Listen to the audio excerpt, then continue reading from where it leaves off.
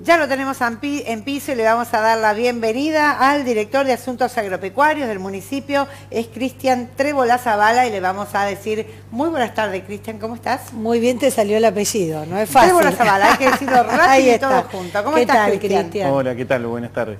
Gracias por la invitación. No, por favor, gracias a vos por acercarte. Bueno, queríamos conocer a través, por supuesto, de tu palabra, lo que sería un repaso ¿no? de gestión de esta dirección que es muy importante porque es una economía regional muy importante la nuestra en este sentido.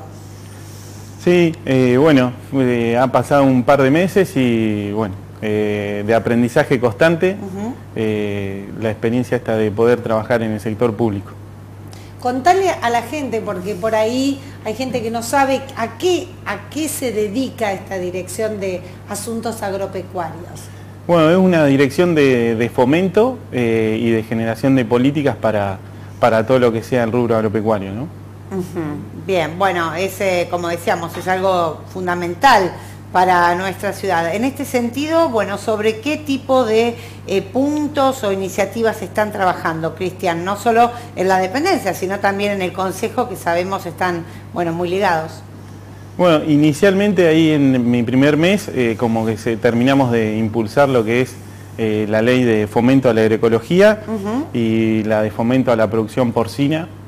esas fueron como los dos primeros impulsos que, que dimos eh, para acompañar estas actividades, eh, la porcina, bueno, por su gran desarrollo en la ciudad y lo que implica toda la, cadena porcina, y la de fomento a la agroecología por el tema que, implica, ¿no? Eh, todo lo que es ayornar las producciones para reducir el impacto ambiental y, y, todo lo que eso que lleva. ¿no? Bueno, ahí fue un punto complicado en estos días. ¿Cómo, cómo estuviste viviendo esta situación?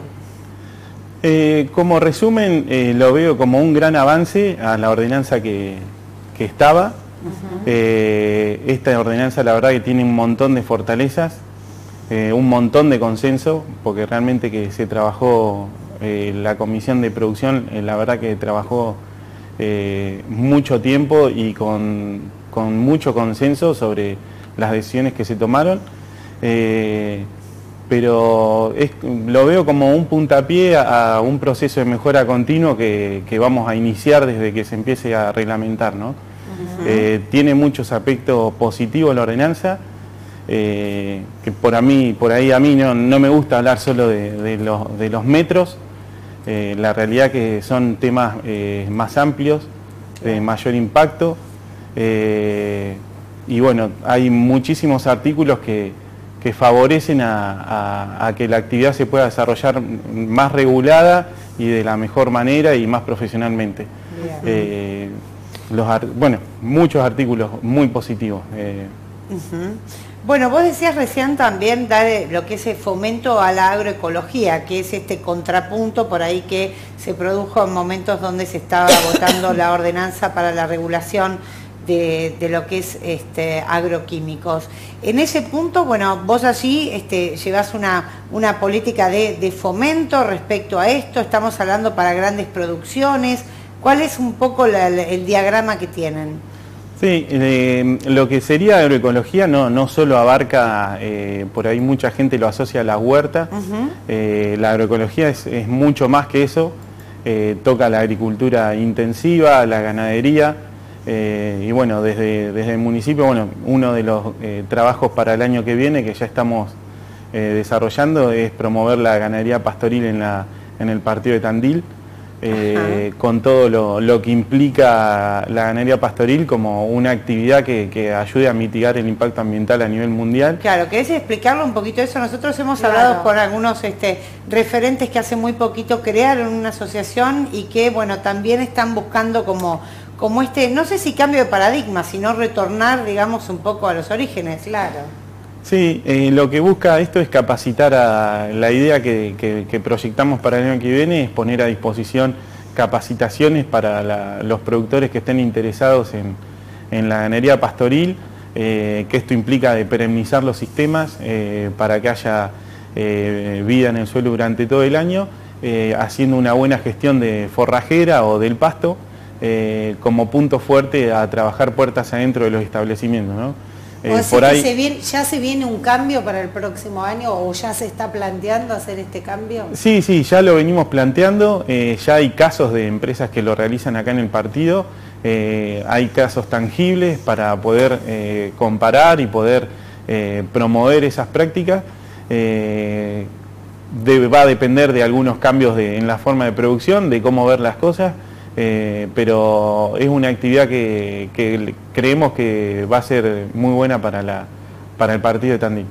Bien, bien. Vamos a recordar la audiencia que estamos dialogando con Cristian Trébola Zavala, director de Asuntos Agropecuarios. Cristian, eh, vos creo que no habías asumido todavía en tu función, pero tuvimos la visita aquí por el mes de junio del gobernador bonaerense, bueno, acompañado también por el ministro del área, y allí eh, se habló de un plan, ¿no? Lo estoy buscando el título porque específicamente era Plan Bonaerense de Desarrollo Rural. Estaba todo lo que es el apartado para el Ministerio de Desarrollo Agrario con financiamiento para tamberos, construcción de frigoríficos municipales. Un anuncio muy importante. Sí, plan de mejora ganadera mm, eh, multimillonario. Es más, para este sector, para desarrollo agrario, hay más de 3 mil millones de pesos, eh, créditos para mejora de infraestructuras, nuevos mercados, Financiamiento para agricultura familiar. Bueno, estoy leyendo algunos de los puntos principales. ¿Algo de esto bajó de provincia? ¿Se vio efectivamente? ¿Se está trabajando en pos de conseguirlo? Eh, bueno, sé del caso de la cooperativa Vial que recibió partes de, esos fondos. Ajá. Eh, después participé en, en un programa de, de, programa Toros que era, que era para el tema de erradicar las enfermedades en los en, la reproducción bovina.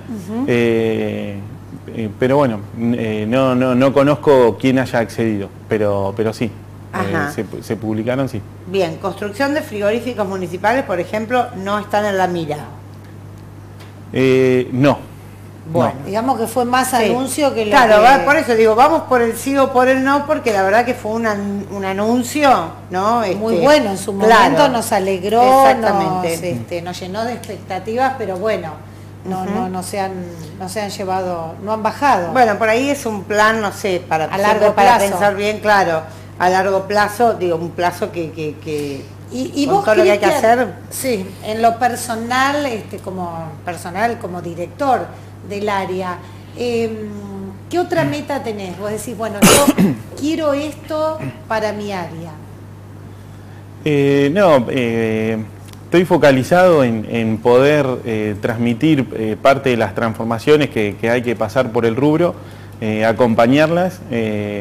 La, la, realidad es que hay temas en agenda cada vez más fuerte y la idea es acompañar esos temas que, que como sociedad también lo estamos viendo y requiriendo, que, va de la mano de profesionalizar cada vez más.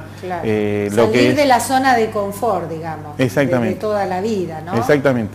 Ir atrás de certificaciones en las distintas producciones, eh, de trazabilidad, eh, cambios bastante radicales para lo, normal del rubro, que bueno, parte de, de mi incorporación a esto era poder aportar un granito de arena en, en esta ¿Te gustaría tener más gente trabajando a tu lado? ¿Cómo está la situación?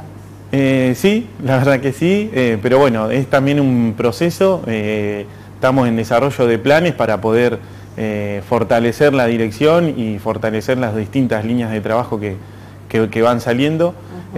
hay mucha, mucho trabajo colectivo, mucha gestión asociada entre direcciones, entre instituciones, no sé cómo es, escuelas rurales, eh, el instituto y la escuela granja, eh, hay muchas acciones en conjunto que, que, todo tiene un plan de trabajo por detrás que, bueno, eh, hay que acompañar.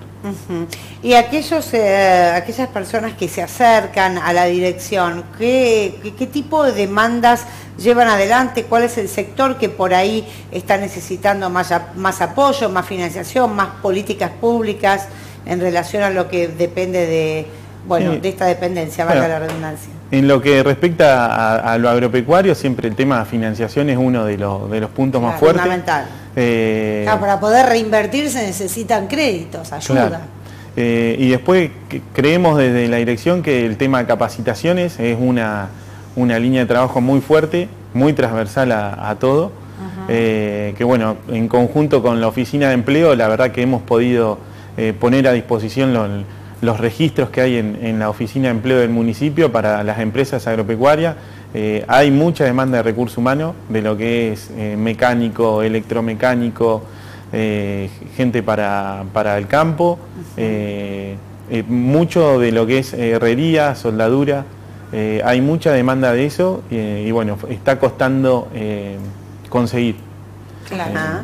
Por ahí habría que nuclearse con alguna, este, no sé, centro de formaciones profesionales para eh, escuelas de oficios. Exacto, lo, que yo hice con desde las empresas del rubro las vinculé con la oficina de empleo de, la Secretaría de Desarrollo Productivo, donde ellos tienen ahí el el listado de personas que están en búsqueda de trabajo y que son eh, asistidas por todos los, los cursos que se dan en los institutos, tanto como en el 401, bueno, en el instituto de la Escuela Granja también, eh, y canalizar por ahí toda esa demanda. ¿no? Claro.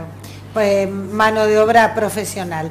Cristian, te agradecemos muchísimo este paso aquí por, por Informadísimas y bueno, te volveremos a invitar para que nos cuentes cómo va trabajando tu área. Seguro. Y ya sobre el final, eh, repetir entonces, Cristian, bueno, ¿dónde se encuentra la dependencia y cuáles son las, las vías de contacto que ustedes ofrecen?